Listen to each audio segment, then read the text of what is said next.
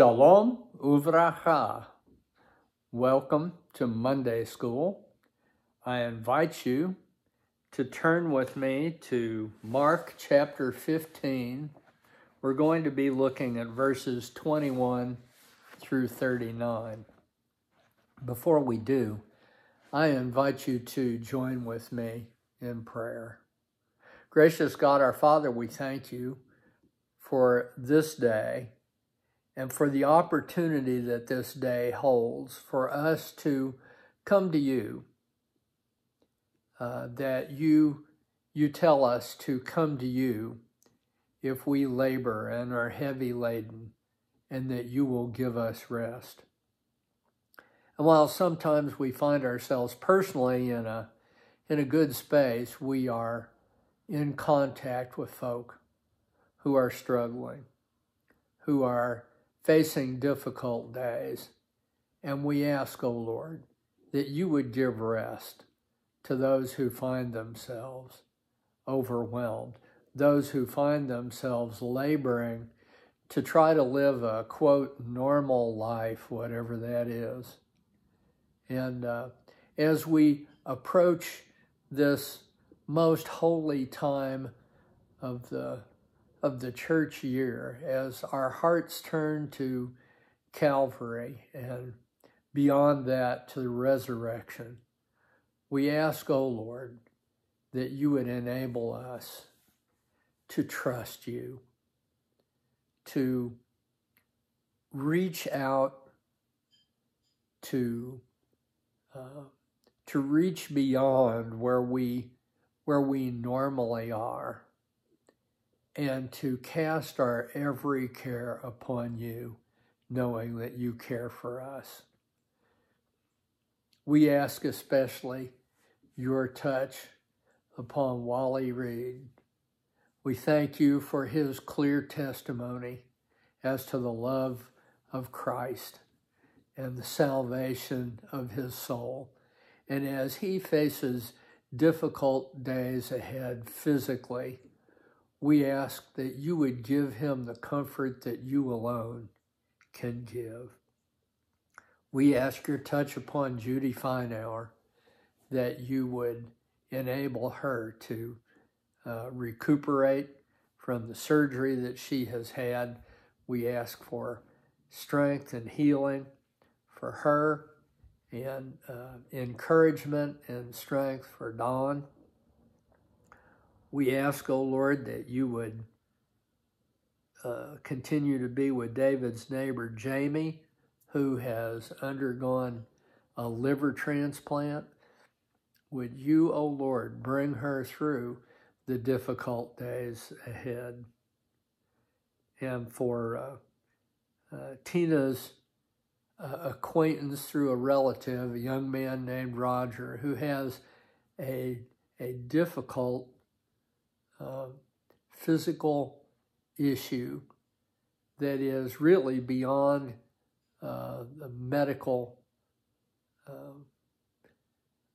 the, the usual medical care, would you, O oh Lord, touch him in a way that uh, sets him free from this condition and gives him a an opportunity to testify as to your not only miracle working power, but that that you display your love in the lives of people in a way that is truly supernatural, that you are mighty God. For those who have have registered unspoken requests, we ask, O oh Lord, that you would go to the point of need and show yourself to be mighty God on their behalf. Now prepare our hearts, O Lord, not only for this lesson, but for the days ahead as we look toward the, the next week when we celebrate the resurrection.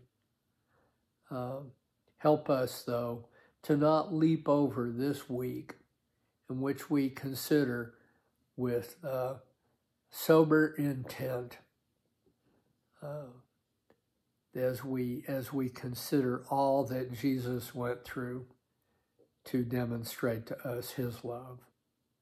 For we ask it in his blessed name. Amen.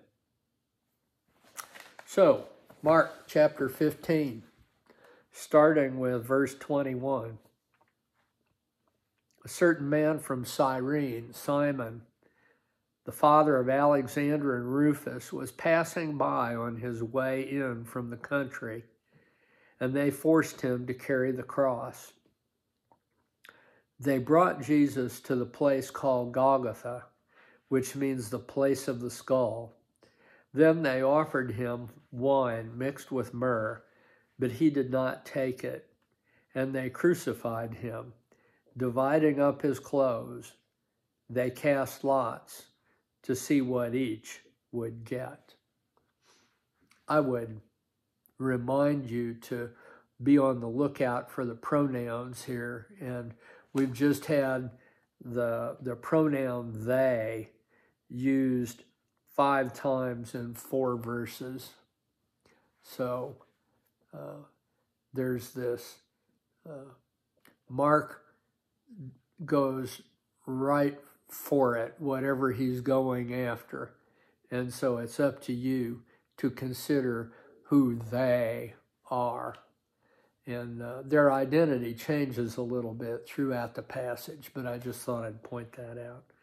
Verse 25 It was nine in the morning when they crucified him. The written notice of the charge against him read, The King of the Jews. They crucified two rebels with him, one on his right and one on his left. Those who passed by hurled insults at him, shaking their heads and saying, So, you are going to destroy the temple and build it in three days. Come down from the cross and save yourself. In the same way, the chief priests and the teachers of the, of the law mocked him among themselves. He saved others, they said, but he can't save himself. Let this Messiah, this King of Israel, come down now from the cross that we may see and believe. Those crucified with him heaped also heaped insults on him. Verse 33 At noon, darkness came over the whole land until three in the afternoon. And at three in the afternoon, Jesus cried out in a loud voice, Eloi, Eloi, lema sabachthani, which means, My God, my God, why have you forsaken me? When some of those standing near heard this, they said, Listen, he's calling Elijah. Someone ran, filled a sponge with wine vinegar, put it on a staff, and offered it to Jesus to drink. Now leave him alone. Let's see if Elijah comes to take him down, he said. With a loud cry, Jesus breathed his last. The curtain in the temple was torn in two from top to bottom. And when the centurion who stood there in front of Jesus saw how he died, he said, Surely this man was the Son of God. So, back to verse 21. Simon of Cyrene.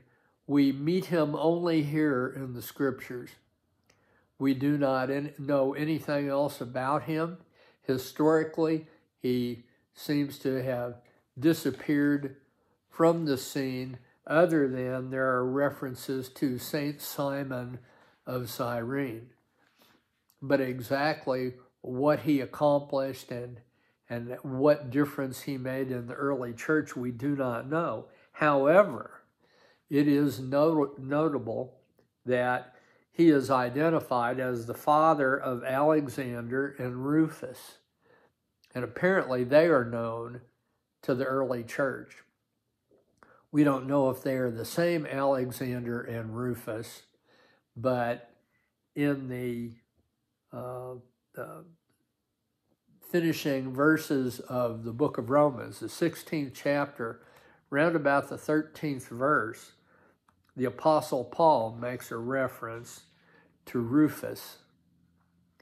And uh, in the book of Acts, chapter 16, that Alexander is identified. There is an Alexander. We don't know if it's the same one, who is identified in Ephesus that he has been brought forward to speak to the uh, the crowd that has gathered and is on the verge of rioting, and they know that if they bring out Paul, they'll tear him to pieces.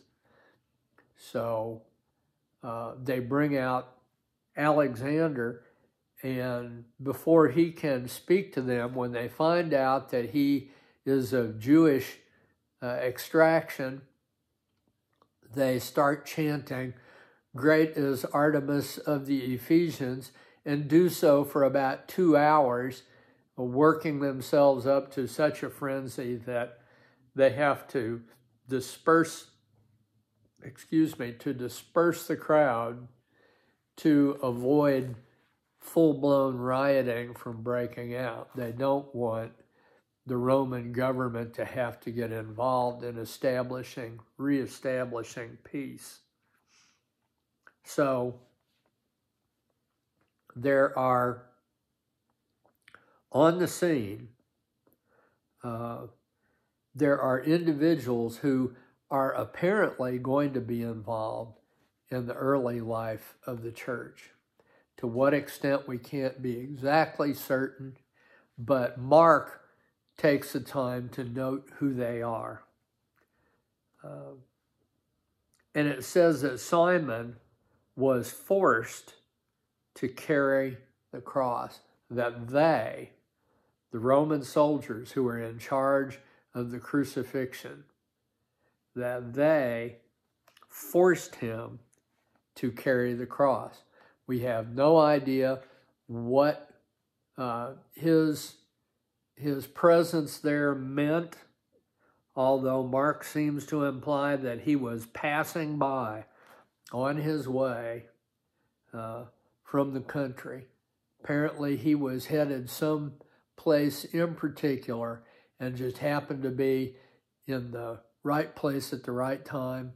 There are some people who would say the wrong place at the wrong time, but he was where God wanted him to be at that moment, and he was impressed into the service not only of the Roman government, but of the King of the universe. They brought Jesus to Golgotha, a rock like formation. And it's interesting, some of the photographs that I've seen that Pastor Joe has shown, uh, that, that there is something that looks like a skull, like a face, but it has been covered up by uh, architecture uh, part of which seems to have been to try to stabilize the slope, and the rest of it, who knows, but uh, it's partially obscured.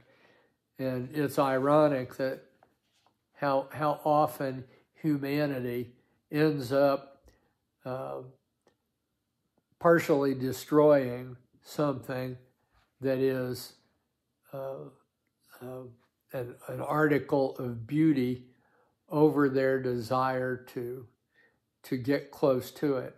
I'm currently involved in a project uh, over near Tellico Plains where there's a little waterfall that the slopes adjacent to it are breaking down because people are overusing the area. It's so beautiful and they love it so much that they're tearing it apart. And uh, it's, it's ironic that those who seem to treasure it most are its worst enemies. So, uh, back to verse 23 they offered him, they offered Jesus wine mixed with myrrh, but he did not take it. Myrrh is uh, not only used as a an embalming uh, compound, but that it was also used what we would uh, it's like a, a, local anesthetic, that it was the sort of thing where you would imbibe some, that it wouldn't make the pain go away necessarily, but it would it would put you in a state where you didn't care as much, that it dulled the sensibilities, took the edge off. And Mark lets us know that Jesus would not take it, that he wanted to fully experience everything that was before him. He was there not to avoid pain, but he was there to bear the sin of the world, and that this was not an accident, it was not a miscalculation in any way, that this was his mission, and he was fully set on completing this mission uh, for which he had come into this world and taken upon himself human flesh. They crucified him. Again, Mark gives us no details. He just says they crucified him. And they cast lots to see what each would get. They stripped him of his clothes and, and took it away, distributed it to those who were involved in the execution. So it was nine in the morning when they crucified him. And that this written notice that we read elsewhere, we're given a little more detail. Uh, and I encourage you to read all of the, the gospel accounts of the crucifixion but there's one place in which we are told that uh, the sign that was hung over his head uh, said, the King of the Jews. Now, normally, the individual who is being executed was identified by a sign that was sort of at eye level, down lower. In this case, it was above his head. And it was written in three languages so that everyone who saw would be able to see what it said. And and when the the chief priest and the scribes saw what had been written, they went back to Pilate and tried to get him to that they were looking for a revised version already, and uh, uh, they wanted it to say, "He said." He claimed to be the King of the Jews, but Pilate said, "I have written what I have written," and what he had written was the King of the Jews.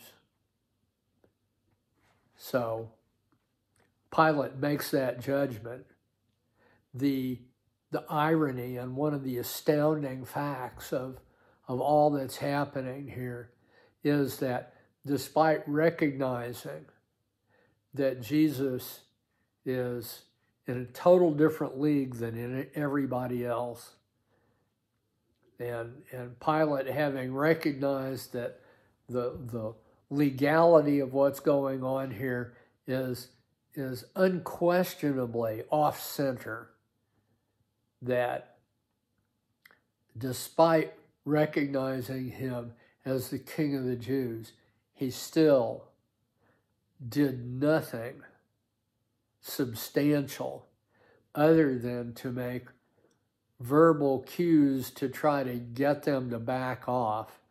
But when it came right down to him issuing an edict, he did nothing to save Jesus. He did not deal with the godhood of Jesus. He met God face to face and failed miserably.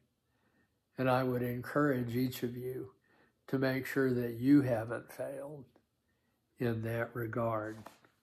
We have had recent testimony from Wally that he has seen the Savior face to face and has bowed the knee and opened the heart completely. Um, so, they crucified two rebels with him, one on the right, one on the left. Uh, so Jesus is on the, the middle cross. And that he faced the insult, the indignities of being scorned, first by those who were of the, the upper level, if you will, the highest of the Jewish officials, that they first heaped their scorn that you who are going to destroy the temple and build it in three days, that that this really got under the skin of some of them. It's kind of interesting that Herod spent 46 years working on the temple and never quite got it done. Uh, yet nobody ever criticizes him for dragging things out. Jesus brings things to a knife focus, a laser focus at, at the cross. And he's about to show them what he meant when he said, Destroy this temple, and in three days I will raise it up. That he was not talking about a brick and mortar building, he's talking about this temple, that the body is the temple of the Holy Spirit. So, he saved others, they said, but he cannot save himself. Now, the interesting thing here, their wording that he, he saved others, but he can't save himself. The reality is he saved others, but he won't save himself. And why is it that he won't save himself? It's not that he can't. It is that he won't because he came to seek and to save that which was lost. He told us that. That he came into the world to save sinners. And the only place from which he could do that was the cross. That John the Baptist, when he saw Jesus coming his direction, said, Behold the Lamb of God who what? Takes away the sin of the world. And he doesn't take that sin away by just sort of, uh, poof, it's gone. But that the sacrificial system had shown that a perfect lamb must be sacrificed in order for sin to be dealt with.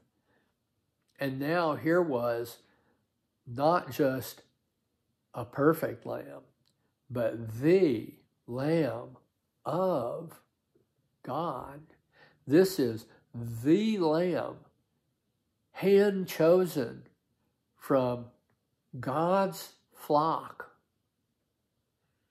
it's a flock of one. He is the only begotten Son of the Father.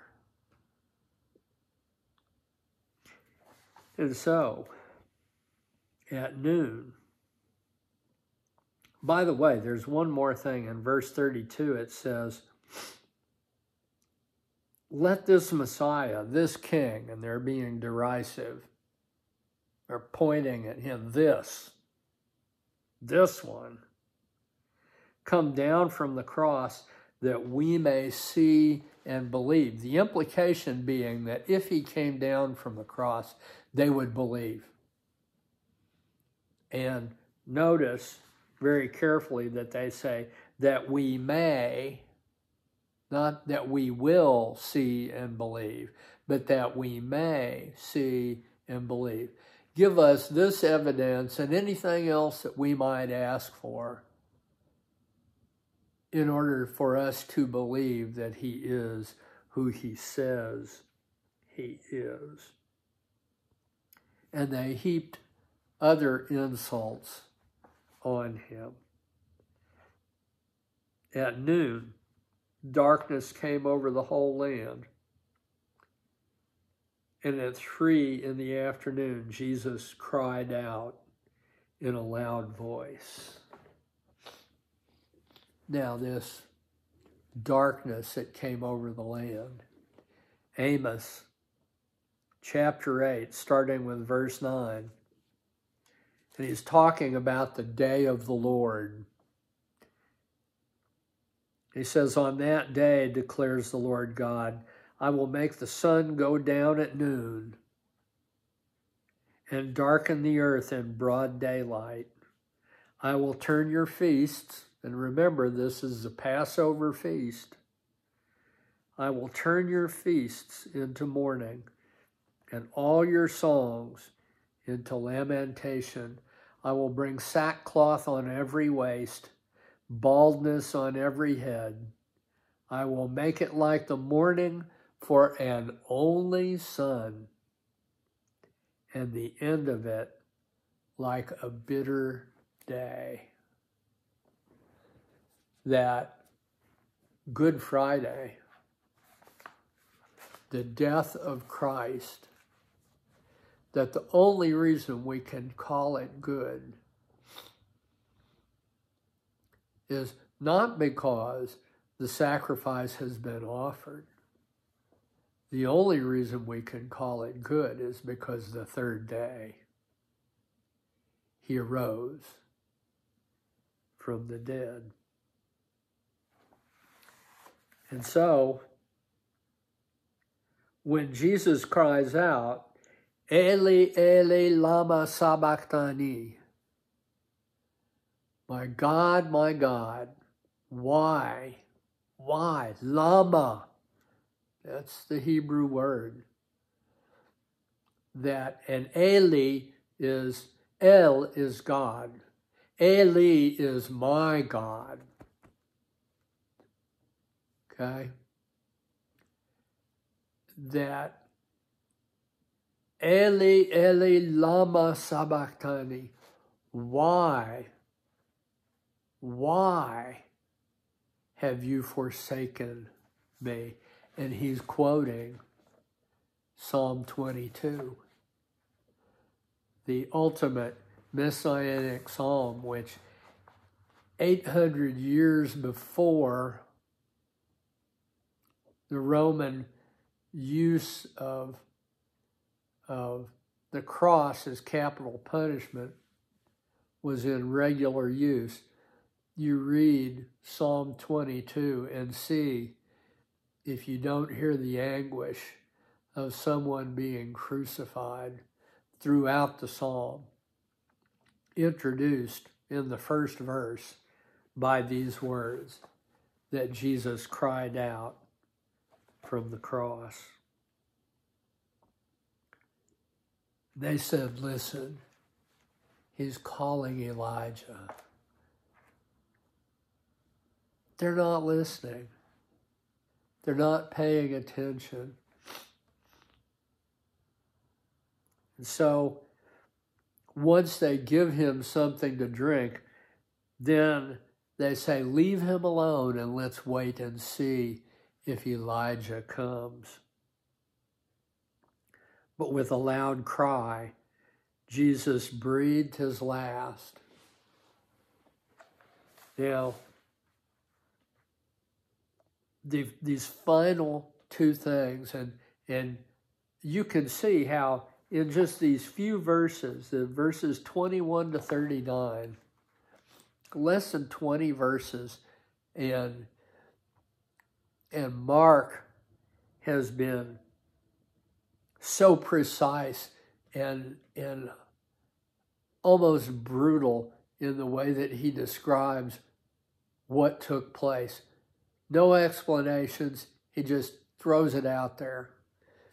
And so the last thing, two things that he throws out the curtain of the temple was torn in two from top to bottom.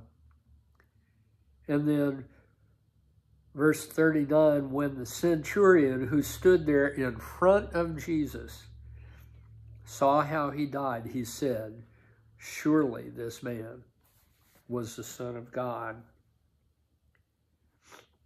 Pastor Joe pointed out to me this morning that these verses, as, as eloquently as they speak, and they're very blunt, and they just tell us this is what happened. But who would have been standing in the vicinity of the curtain of the temple? A priest and possibly the high priest.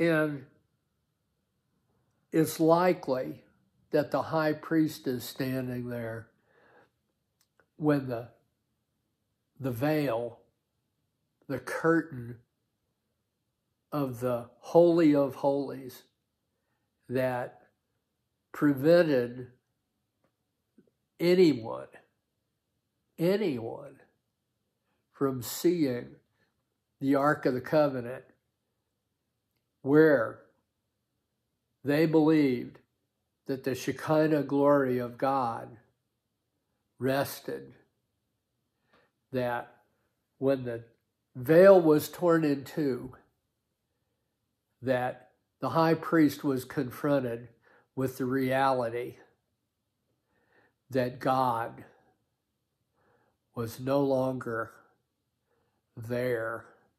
He was not at the beck and call of the high priest, that he was departed. In that very same moment,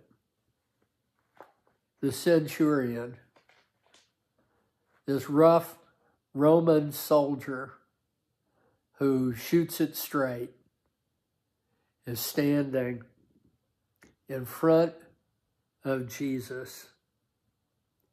And when he saw how he died, he said, Surely this man was the Son of God. The trained theologian missed it when he was there to see in life, and he missed it as he departed this life. But this pagan Roman soldier sees the Holy Son of God as he dismisses his spirit. And the centurion says, This is the Son of God. Behold, the Lamb of God. Thank you, Jesus, for all you have done. And for all that you are going to do in the hearts and lives of men and women, boys and girls, who give themselves without reservation to you. Let every heart prepare you room In Jesus' name we pray. Amen.